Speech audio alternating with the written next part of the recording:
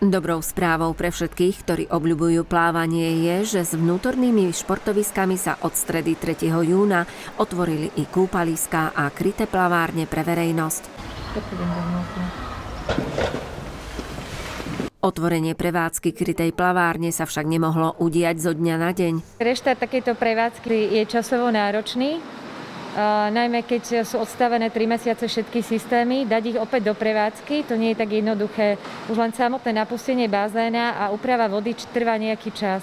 Na otvorenie prevádzky plavárne boli potrebné i jasne definované podmienky, ktoré v nich budú platiť. Museli sme aj čakať na nejaký čas, kým uh, hlavný hygienik vydá nejaké konkrétne uh, usmernenie ohľadom obmedzení, tak za akých budeme môcť prevádzkovať bazén.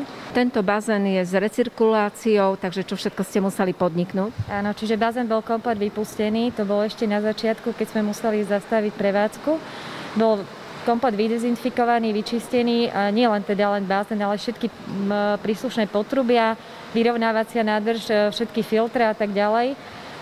Bolo vydezinfikované všetky, čist, všetky plochy, všetky, všetko zázemie, ktoré tu máme, to znamená šatne, skrinky, sociálne zariadenia.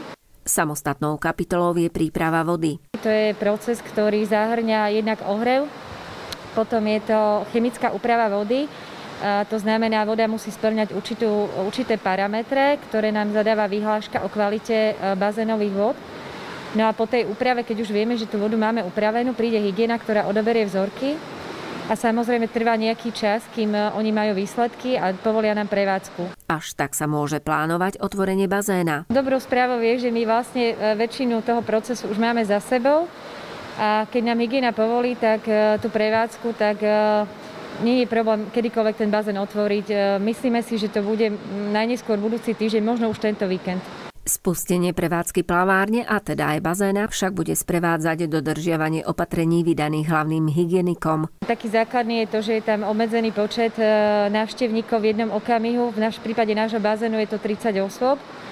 Potom je tam meranie telesnej teploty, to znamená, každému návštevníkovi pri vstupe budeme merať telesnú teplotu a pokiaľ tá telesná teplota bude vyššia ako 37,2 stupňa, tak nemôžeme povoliť vstup. Vstup a pobyt vo všetkých priestoroch je možný len s prekrytými hornými dýchacími cestami. Výnimkou sú sprchy a bazén. Tam to nie je potrebné.